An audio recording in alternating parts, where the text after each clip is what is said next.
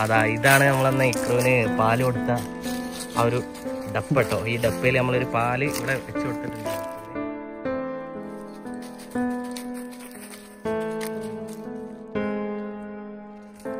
എന്റെ അമ്മ അടിപൊളി സീനാണ് കേട്ടോ കാരണം ഇക്രുവിന് ബുദ്ധിയില്ല അല്ലെങ്കിൽ മൃഗങ്ങൾക്ക് ബുദ്ധിയില്ല എന്ന് ആരാണ് പറഞ്ഞത്. കാരണം അക്രു ശരിക്കും അവന്റെ ആ പൊത്ത് തിരിച്ചറിഞ്ഞിട്ടുണ്ട്.